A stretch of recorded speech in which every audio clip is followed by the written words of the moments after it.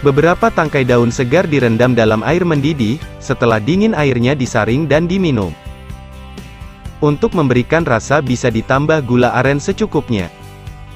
Abrus precatorius atau saga rambat merupakan tumbuhan obat antisariawan yang populer.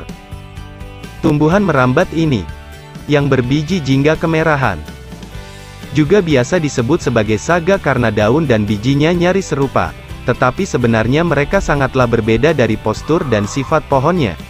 Sehingga kadang-kadang rancu antara saga rambat dengan saga pohon atau Adenanthera pavonina.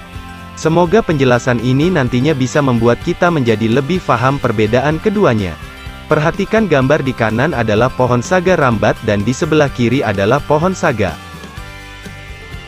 Dan ini adalah biji saga rambat di kanan berwarna merah dengan titik hitam berbentuk bulat panjang seukuran biji kacang hijau.